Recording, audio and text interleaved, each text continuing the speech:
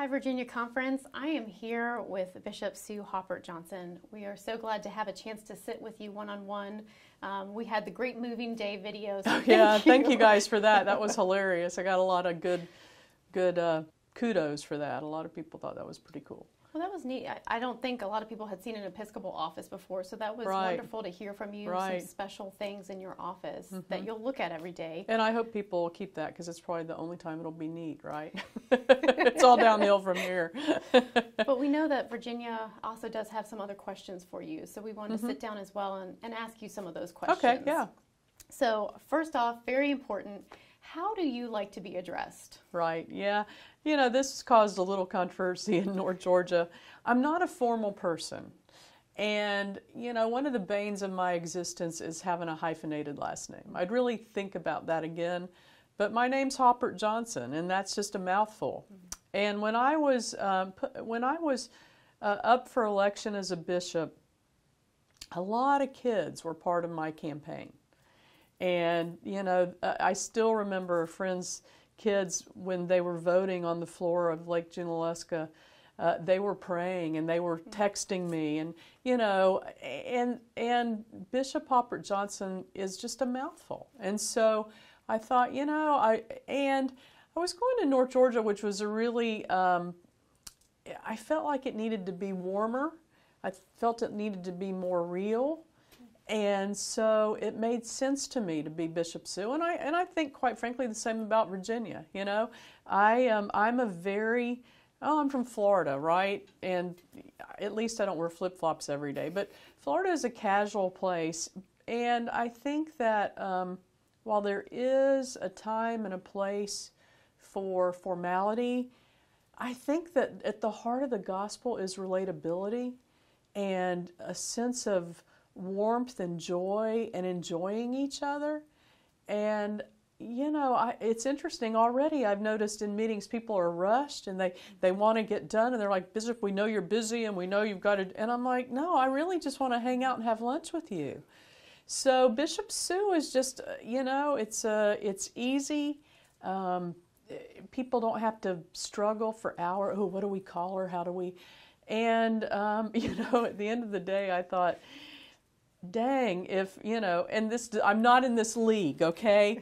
But if Pope Francis can be Francis and Mother Teresa can be Teresa, I can be Bishop Sue. And it's really, I think, in the history of the church, you know, you know, you had Brother Pat and Brother John and Brother, and because um, there is a there is a uh, a linkage a relatability. Uh, I think that has a deep is deeply embedded in Christian history. Mm. That um, that we want, you know, Jesus calls by name. He didn't call her, you know, he calls Mary Mary. He calls people by name, usually their first name. Mm. And it's interesting to me we only know the disciples by one name, right? So there's a there's an intimacy and a relational quality and a depth of knowing somebody where you call them by name, and and that's why I like to be Bishop Sue. That's lovely. And but that's not to say that um, other bishops, you know, it's not like I mind that they go by their last names. That's fine, and I think in some some cases, yes, there is the formality needed, but I never have sensed that in my setting. Gotcha. So. So, can you tell us, for people who might not know, can you tell us a little bit about your family? Yeah. Um, well, I grew up in Florida. I have two younger sisters. I'm the oldest. Um, always had to set the example, always had to be the high achiever. Um, I'm recovering in that way. uh, but uh, my dad was a service manager for General Telephone and his name was in the phone book. If you had a complaint with the telephone company, you would call my dad. And uh, he was the most patient, even keeled, uh, devoted, just a wonderful man. Um, and sometimes when I have somebody complaining, I have to channel Pete Haupert because he never got upset. He always, you know, he dealt with the problem well. And so I think at my best times, I, I channel him. Uh, he also, I call him, and you'll hear me call him Stingy Pete. Man, he he hated money to be wasted. Uh, actually, my sister's even worse than I am. She, you know, she really, my um, husband used to hope my sister Donna got her uh, his name for the annual mm-hmm. gift giving at Christmas because Donna can make 50 bucks go farther than any human being on the face of the earth. But uh, so I am a real fiscal conservative. I watch every penny. Uh, I, I think I freaked out David, your treasurer, because I asked to see like the investment analysis and a mm-hmm. balance sheet, and he's like, "Wow, I've never." so, and I, I have a degree in finance, so I'm always, how do we, you know, get get the biggest impact for resources? Mm-hmm. And uh, my mother was a school teacher. She taught fourth or sixth grade for 35 years. Um, and I am amazed. She would, you know, teach all day, come home, make dinner, run our household. I still don't know how she did it. Um, she's still alive. She's 87 and, and still runs her household, lives independently. Um, and then uh, my da- my husband Alan, I met. Actually, I met at church. He was the chaplain at Florida Southern College, and I was the associate pastor at First United Methodist in Lakeland. Mm-hmm. And we would hang out on Sunday night and talk about life in the church, and he would make soup. And, uh, you know, I was dating somebody else, and a couple years after we started doing that, I realized I liked hanging with him more mm-hmm. than anybody else. And so, uh, but a friendship that just blossomed into more. And uh, one of the most embarrassing nights of my life was when we played newlywed game with the youth group and we were horrible. We couldn't even figure when was our first date. I don't know. You know, it was like so seamless. I, yeah. I don't know when our first kiss was. I don't know. So we're terrible at that. Um, our daughter Samantha is 21 and uh, is about to graduate from college. Knock on wood. she uh, is majoring in history and art history and uh, is excited to get a job. Mm-hmm. Uh, she doesn't really want any part of graduate school right now. She's tired of school, so she's eager to get a job. And she is an urban person. Mm-hmm. She, we took her to New York City when she was about 13, and she lit up. And so she will probably be interviewing anywhere from D.C. to Boston. Mm-hmm. Um, and we have I've been blessed with a great family. You mm-hmm. know, I I think that's tremendous gift, and um, still tight knit. Um, you know, my grandparents were married for 50 years. My parents were married for 50 years. I don't think I'll be married for 50 years. I didn't get married till I was 84. I mean, 84 until I was 34. So, mm-hmm. uh, but uh, you know, very deeply knit, solid family, and um, I love to get together with my sisters and their families and the extended family, and um, all of our summer vacations growing up were at the beach. Mm. And so we would spend usually a month at the beach, and um, we would go crabbing together. We would fish together, any kind of seafood I've caught. Mm. And, you know, those family gatherings, I have great memories of sitting with my aunt at 2 in the morning um, with about 50 crabs, cleaning them. So I'm definitely a Florida kid. Mm. Yeah.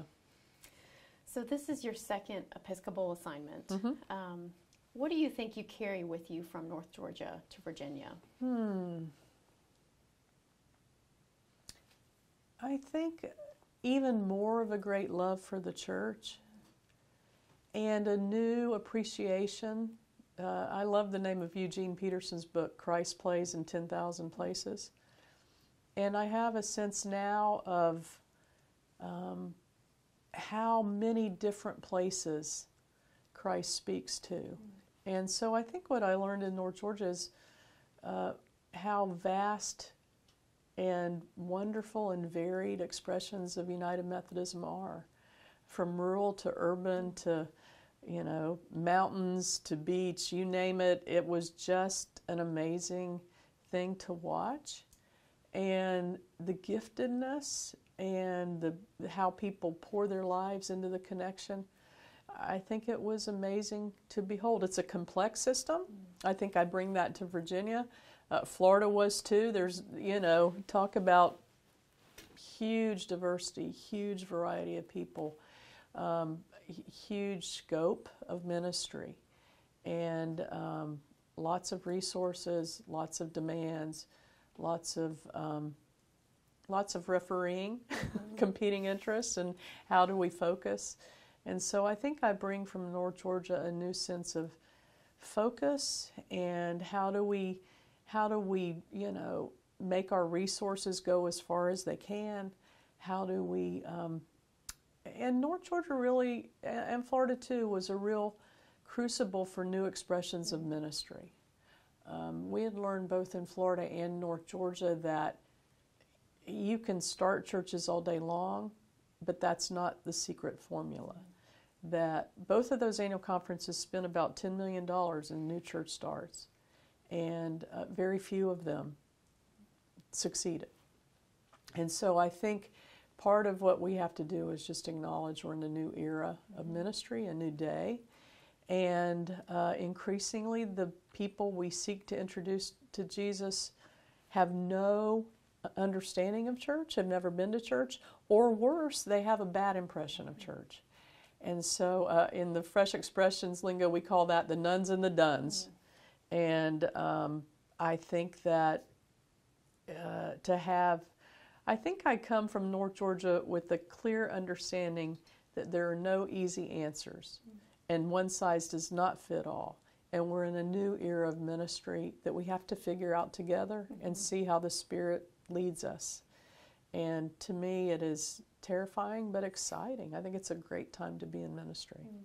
It's wonderful. Mm-hmm. So, the Virginia Conference has been under a vision, a conference vision, since 2017 mm-hmm. of to be disciples who are lifelong learners who influence others to serve. Do you, as a bishop, are you planning on casting a vision is that something that's in your priorities? You know, I, I think I've never been one of those who um, thinks that the leader casts the vision. Mm. Uh, I think that I lead the conversation, but uh, vision usually comes, I think, bubbling up from the grassroots. Okay. And I don't think, and I think it's constantly changing. Mm. So 2017 is light years ago, right? And um, I really learned, I served a small church and I struggled. We all struggled with vision. The church council and I, what's our vision? What's our vision? What's our vision? And after I'd been there about three years and we had focused on studying scripture and focused on our community, uh, it was a it was a um, suburb it was a rural community becoming suburban, mm-hmm. but it was forgotten. There wasn't any there weren't any services. It was a forgotten area of the mm-hmm. county. And I remember we were in a church council meeting, and a woman who was not even a major leader in the church just said, You know what? I think we're supposed to be the beacon in the middle of this region, mm-hmm. and we are supposed to be the ones to provide services to this community or be the place where they can find it. And there was our vision. I mean, it, it came up, it was organic. Mm-hmm. And so, you know, I'm not going to take three years. I think at the end of the day, the heart of the vision is always how do we introduce people to Jesus? Mm-hmm. And that looks different in every setting.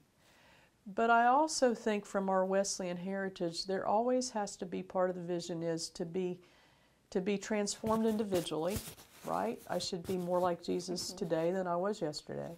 So there's the, the transformation of the individuals, and then that leads to the transformation of the culture because uh, I don't think you can have the mind of Christ and not be vitally concerned with those in your community who he would be in ministry to, mm-hmm. right? So the vision, I think, always is about personal transformation, community transformation, and introducing those who don't know Jesus mm-hmm. to him. And um, whatever vision we have will include those things. Hmm. I know that people are excited. Obviously, we are just in your first month here in Virginia. yeah. But can you share what your priorities are for the conference? Yeah, my priorities are um, leading the conference to focus on the people not in the church yet. Hmm. I feel like a lot of the conversations we have especially when you're talking about disaffiliation. Oh, who are we going to lose? Or I'm like, you know what? last time I noticed there were fewer than 1% of any community in a United Methodist Church. So what about the what about the 80% of people who have no faith community? What about the that to me should occupy all of our time. Mm-hmm. And um, so uh, I think a change of focus and also a change in focus on generations not here yet. Um, a lot of the conversations I have are with uh, older people who I think desperately want to see the church like it was in 1950. And that day is come and gone. And so, how do we creatively talk together about reaching new generations? And um, so I, that's how I want to lead the annual conference and in a joyful way. I mean, I get so tired of going to church meetings where people are mad and upset and angry and cranky. I'm, I'm just done with that. I want to look for joy. And um, there's a great old Bible study called Experiencing God by a man named Henry Blackaby. He was a Baptist minister. But the best part of that was um, that I took from that, and I think it's so true. You look for the Holy Spirit. You look where where God is at work, and you join God there. So I think our priority will be looking at this annual conference, looking at Virginia, and saying, where is God at work, and how do we join God in that work, and how do we do it in a joyful way, and how do we incorporate new people in that ministry and new gifts. Um, I've been. Um, well, years ago, Alan and I, Alan and I went to the bishop in Florida, and we said we want churches that are in trouble. Hmm. You know, we want churches that have resources, that have potential, but are really in trouble. And so, funny, it's like steady work. But we would go into those churches, and they would have financial problems, and they would have leadership problems. But what we found was usually the issue was with leadership and inwardly focused leadership held tightly. Mm. And so, what we would watch for were the amazingly gifted people who were on the periphery, right? They'd sit at the edge of the sanctuary, they mm. weren't in the middle of things. And we found that we had more, they had more than enough gifts to fuel the church. Mm. And so, I think that part of this is to um, bring in new leaders, bring in new ideas, bring in new energy, mm-hmm. bring in joy. And if you're not joyful, I'm to the point where I just really don't want to work with you. I'm to that yeah. point. I'm, you know, I'm just tired of. Uh, who was it who said, "Who? Oh gosh, what was the quote? Uh, somebody was talking about. Oh, it was a comedian who described Methodists as those who'd been sucking on lemons all day. Oh gosh.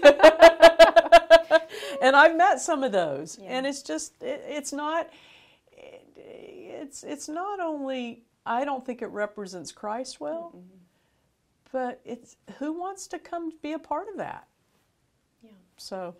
I yeah. that's beautiful, especially yeah. coming from the pandemic. You know, we're slowly trying to get away from that, but choosing joy, finding right, joy. Right. I think that's a vision that I think we all want to reach for. And well, and I think that's why Paul says. I mean, he writes to this church in conflict whatever is worthy of praise, think on this, right? Mm-hmm. Don't get caught up in the negativity and the ugliness because it'll consume you. Mm-hmm. And even in the name of Christ. And I'm, you know, I just don't, I don't think that's healthy. That's wonderful. Yeah, I, I early in my early in my training as a bishop, I, I and I don't know who said it, but I I was reviewing my notes and in big letters I'd written "Fill your day with health." Hmm. And I've tried to do that ever since. So I'm going to be filling my day with health, filling my day with the Methodists who want to be United mm-hmm. Methodist, who want to stay United Methodist, who love the United Methodist Church. And those are the people I want to lead. Mm-hmm. And some, somebody long ago said, you know, Sue, don't worry about the people who don't want to follow you. So, anybody who wants to be led, anybody who wants to be United Methodist and love it and embrace it and be connectional and introduce people to Jesus and be joyful, mm-hmm. I'm your person. If not, I'll retire, right? well, I know we have clergy and laity around the conference. They are just gearing up, ready to meet you. Uh-huh. Can you share how you're going to be going around the conference? right, yeah. I'll be working with the cabinet next week on this, but Ideally, what I'd like to do is Um, I will use it as a time to get to know the superintendents because, you know, I, I don't know them well. Mm-hmm. And I find if they drive you around their district for a day, you get to know them pretty well. Um, but uh, usually, what I'd like, and this is what I'm going to talk to them about, I'd like to be in a district, preach in a church on a Sunday morning that they think would be helpful, mm-hmm. you know, an influential church or a church that just would enjoy a, a visit from me. And I leave that to their discretion. And then meet with, um, usually Sunday afternoon or evening, meet with a group of laity, and I let them decide who that will be and how that group is comprised. Mm-hmm. And then the next day, meet with the clergy. And um, after that, you know, Monday and Tuesday, just drive around, uh, show me parts of the district that are exciting, it really involved in ministry. Sometimes they'll line up uh, ministries, and I'll just we'll drive over there and meet whoever's mm-hmm. leading that ministry. Or you know, if they need something that uh, is of concern to them, they'll show me that. But uh, to me, that's a really valuable time and one of my favorite times. And so um, I'd love to make it to all eight districts before annual conference. It's going to be a it's going to be a, a real uh, sprint. Yeah. But I think we can do it. Mm-hmm. And I found that that helps me use my time most efficiently and get know get to know the most mm-hmm. people. So, along that same line, as we are so excited to meet you, how can people anticipate being able to hear from you? Kind of what's your communication style mm-hmm. um, conference wide? Um, yeah, I like this. I love it. I like I like podcasts. I like. I'm a video person. Mm-hmm. Um, I don't know about you, but I see like three page writings from bishops, and I'm like, I I read two paragraphs. I don't know about you. Um, I just think that I and I want you to hear it directly from me. So um, it'll be a lot of video, a lot of you know, if if a statement needs to be made, I'll write a short statement. Um, but I I think that um, I love podcast and uh, I'm not a good blogger. Mm-hmm. Not a good blogger. Well, we look forward to some podcasting in our future. Exactly. So. Exactly. Yeah. Do you anticipate any kind of a larger preaching schedule other mm-hmm. than what you already talked about? Yeah, I usually, um, uh, I know in North Georgia, most Sundays I was preaching. Mm. And um, I love that. I enjoy that. And so, um, and, and, a lot of it is, you know, a lot of it is anniversary preaching, right? Churches' anniversaries, 150 years, mm-hmm. 200 years. Um, and uh, usually, just fair warning, it's usually the same sermon. Congratulations on your anniversary. Now go, or a building, right? Yeah. Uh, I do a lot of building stuff, and my and my message is always, okay, congratulations on the new building. Now get out of it, right? But um, I, um, yeah, the, I, I, the more the more Sundays preaching, the better. Mm. Um, and, and usually the DSs will funnel requests for that and uh, Terry Biggins, my assistant, will figure out how that sorts out. You know, it was really hard when I got to North Georgia and a similar Virginia. Actually, there are more churches in Virginia. Mm-hmm. Um, to realize that if I wanted to go to every church on a Sunday morning, it would take 18 years. So, wow. so that said, but I do like I do like going to some churches that you know will say we've never had a bishop come, mm-hmm.